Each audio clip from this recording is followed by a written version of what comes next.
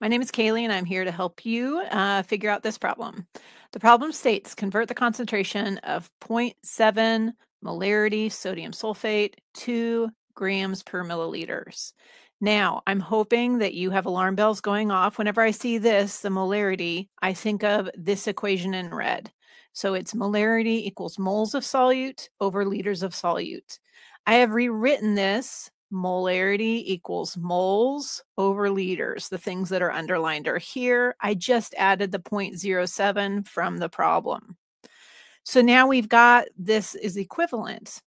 When you see this, I'm hoping that you see that 0.7 moles over one liter equals 0.7 molarity because anything divided by one is itself.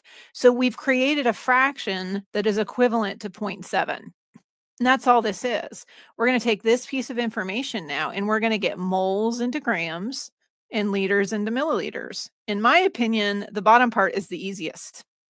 The first thing we're going to do is we know that hopefully you know this memorization fact that a thousand milliliters is one liter. So we can rewrite this fraction with a thousand milliliters because there's one liter. If it was two liters, this would be 2000 milliliters. Now we have the job of getting 0.7 moles of the sodium sulfate here to into grams. And hopefully you've been doing that some. Um, we see that problem right here. It's 0.7 moles of the substance. And when we do that, we usually set it up in dimensional analysis like this. I'm going to be short just to, for the sake of this video. That well, actually, I don't know. Maybe I better not. 2 SO4 over 1. Then I do what I call the automatic three things, and I put moles of NaSO4. Sorry, can't talk and write at the same time. And we're going to want grams of Na2 SO4 because when we do that, we're going to be able to cancel these two out and be left with grams.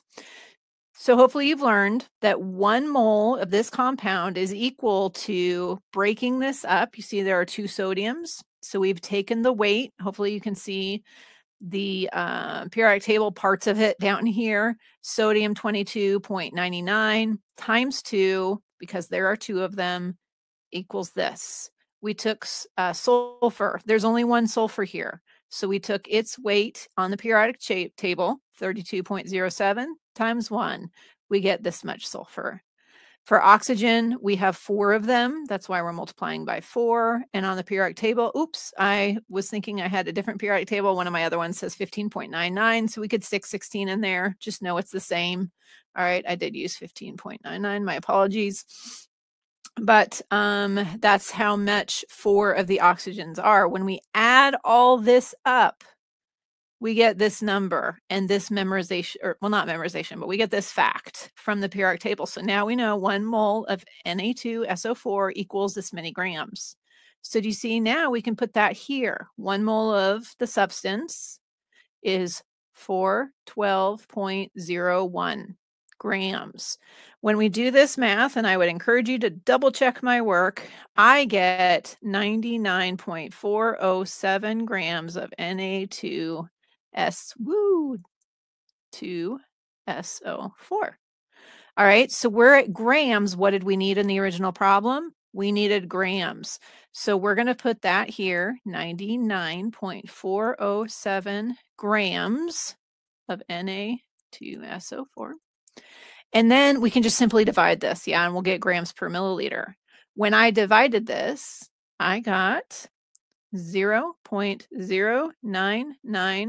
0.0994 grams per milliliter. Now, I would encourage you to check and see about significant figures. If that's an issue in your class, you can see, and I didn't even write it correctly. I should have had two zeros here all along, but technically we have three significant figures here. So we should at least have this many here, maybe cut it off there. Okay, but I would check with your teacher and see if that's something that you have learned. Um, and I hope this helps you out. Have a great day.